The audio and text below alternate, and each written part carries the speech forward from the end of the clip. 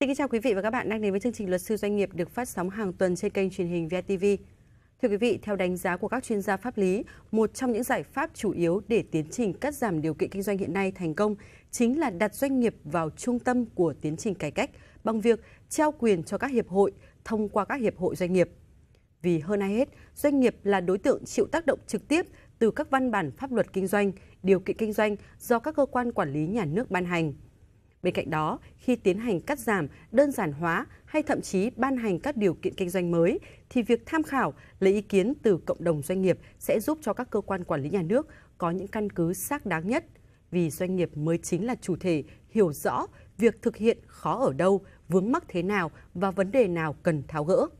Chương trình luật sư doanh nghiệp tuần này của chúng tôi tiếp tục bàn về chủ đề cắt giảm điều kiện kinh doanh cần lắng nghe doanh nghiệp. Kính mời quý vị cùng theo dõi.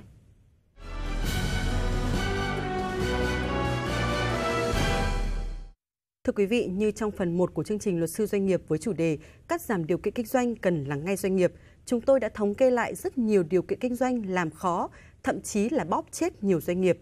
Nhưng trên thực tế, không chỉ có doanh nghiệp vận tải, doanh nghiệp kinh doanh khí hay doanh nghiệp trong lĩnh vực thực phẩm khốn khổ vì những điều kiện kinh doanh vô lý, không cần thiết, mà doanh nghiệp trong lĩnh vực xuất khẩu gạo, hoạt động in ấn hay trong lĩnh vực chăn nuôi cũng phải đối mặt với những quy định bất hợp lý. Phần tổng hợp sau của chúng tôi sẽ giúp quý vị hiểu rõ hơn về vấn đề này. Kính mời quý vị cùng theo dõi.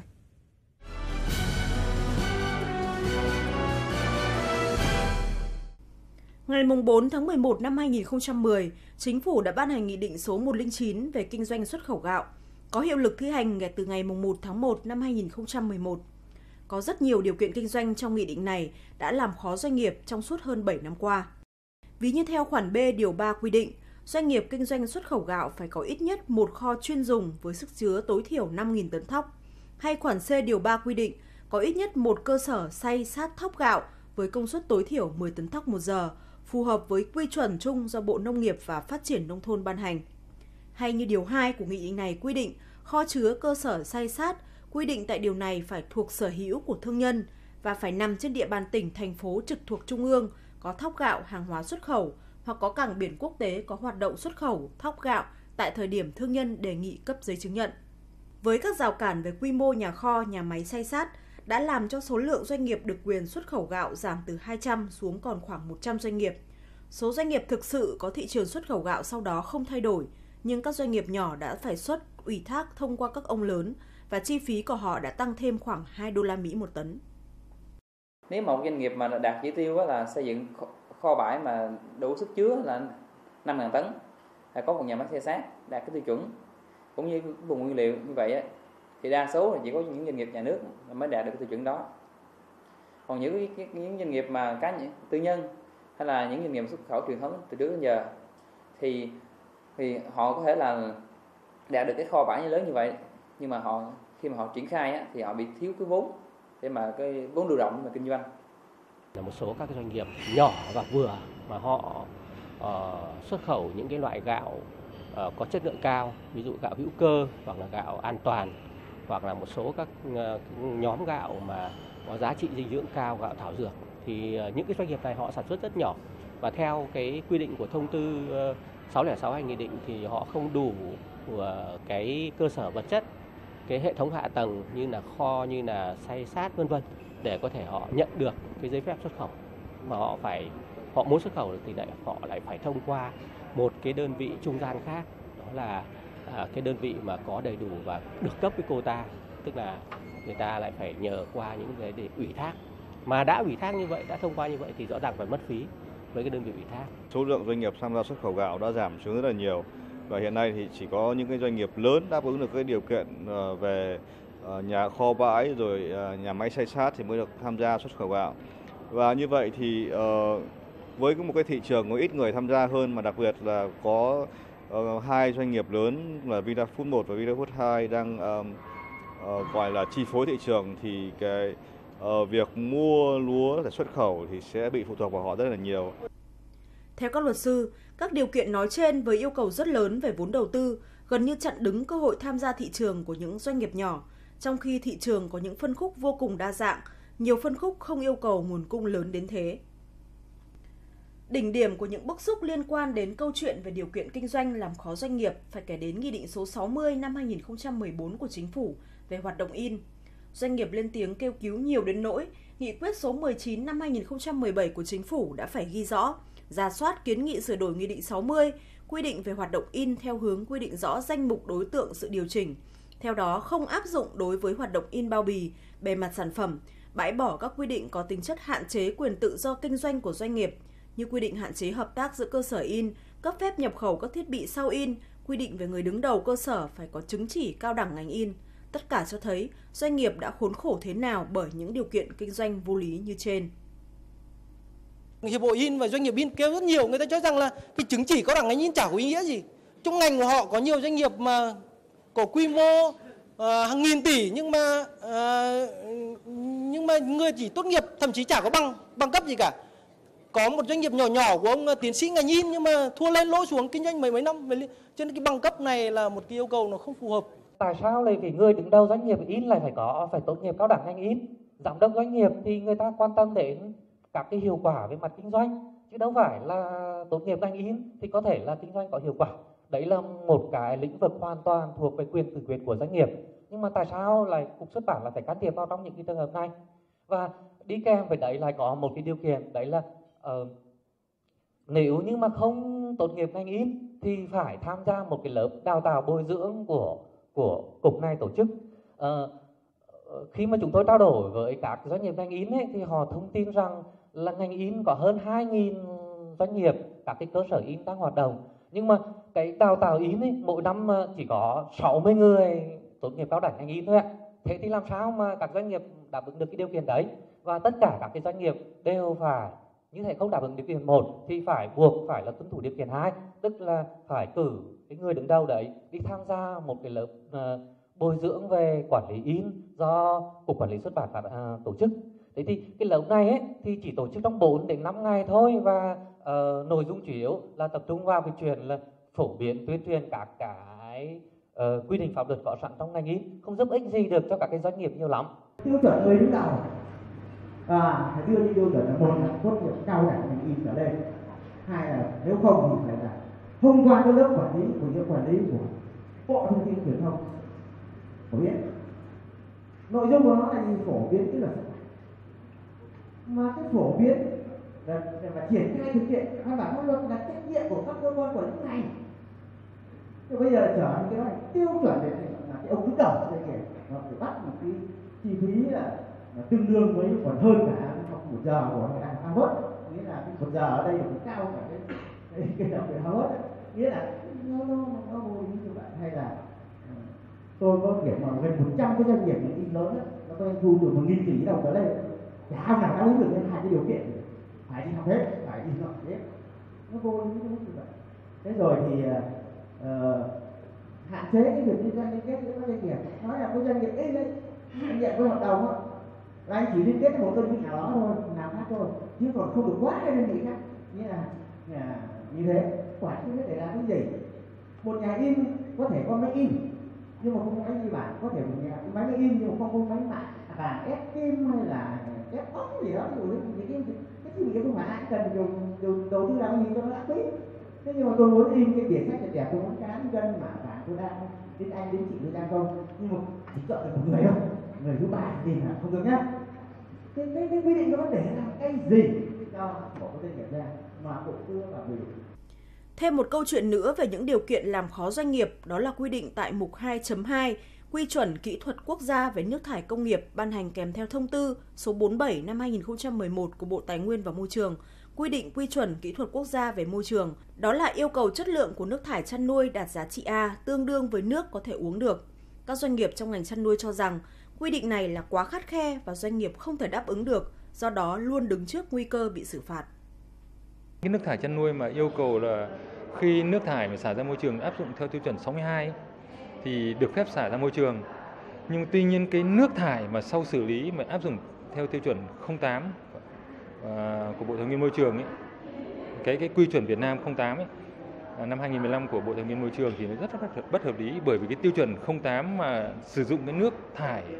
sau xử lý để bón cho cây trồng thì nó còn cao hơn rất là nhiều tiêu chuẩn cao hơn rất là nhiều so với cái cái cái nước thải xả ra môi trường. Vậy như thế là một cái điều bất hợp lý bởi vì là nếu chúng ta áp dụng theo tiêu chuẩn này thì cái nước thải mà bón cho cây trồng nó chả còn cái chất gì cả. Mà trong khi đó cây trồng lại rất cần nhiều cái dinh dưỡng đặc biệt là các hợp chất hữu cơ ở trong cái nước thải đó hoặc là trong phân bón.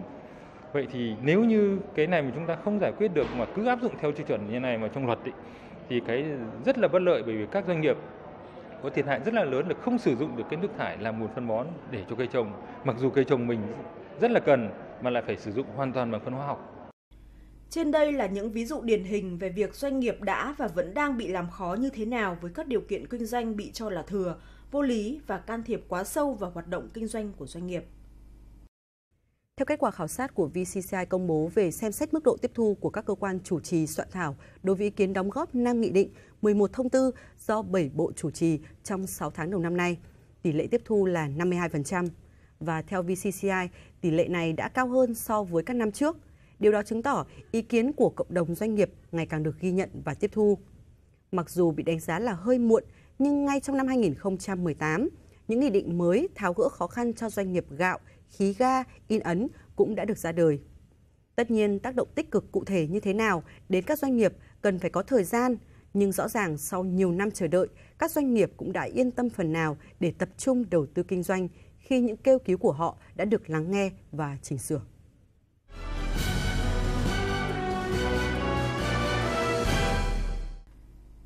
Ngày 15 tháng 6 vừa qua, Nghị định 87 đã được Bộ Công Thương ban hành thay thế cho Nghị định 19 về kinh doanh khí. Trong buổi công bố nghị định mới diễn ra ngày 31 tháng 7, nhiều doanh nghiệp địa phương đã đến từ rất sớm. Họ mong muốn hiểu thật rõ những điều mình được làm và chưa được làm theo tinh thần nghị định mới.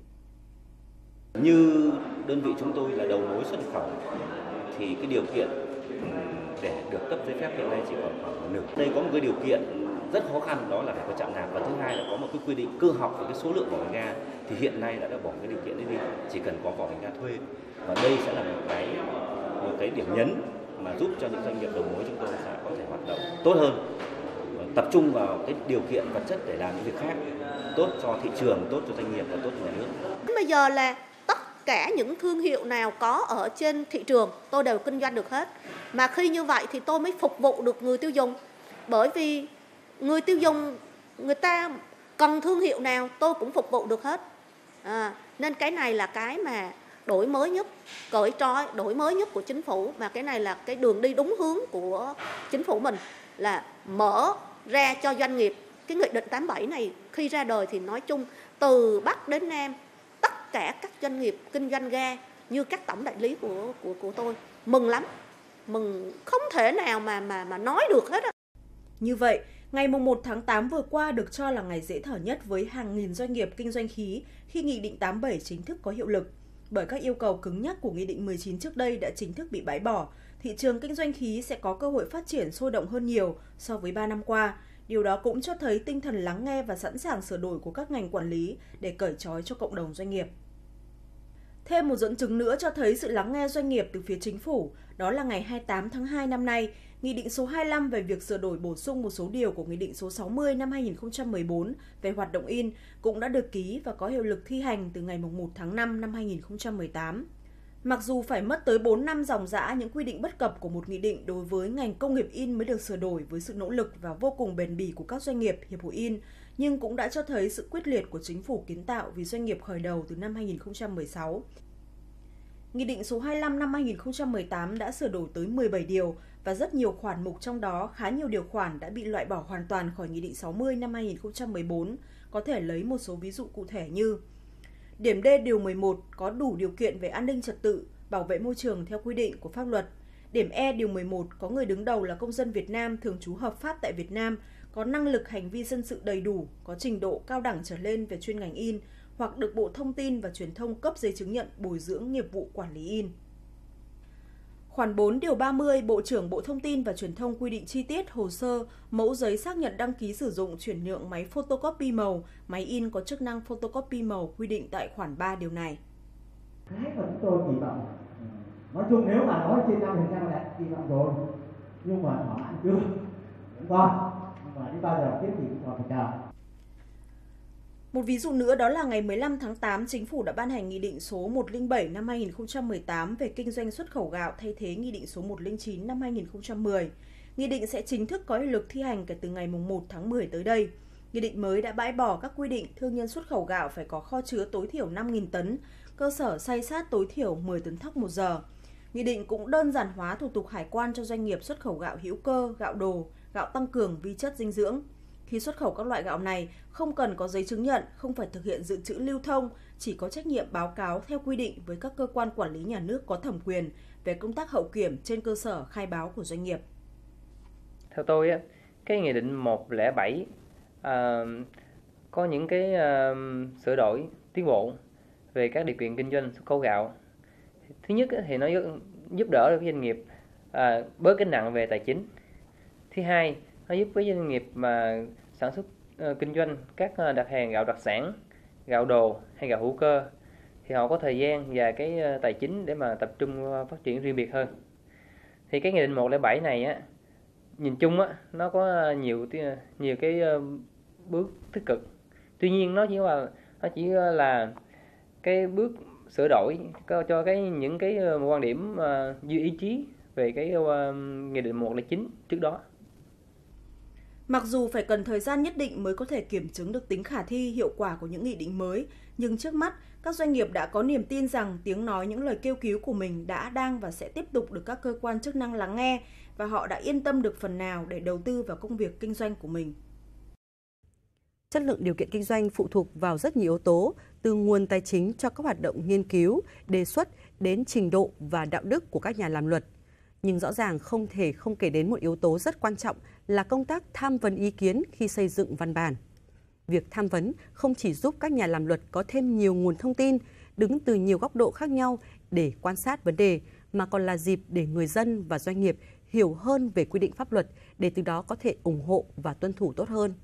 Có như vậy chúng ta mới hy vọng có được một môi trường kinh doanh thông thoáng và hấp dẫn đối với cả nhà đầu tư trong nước và nước ngoài. Đến đây thì chủ đề chính của chương trình xin được lại. Như thường lệ, phần cuối của chương trình mời quý vị đến với mục tư vấn pháp luật.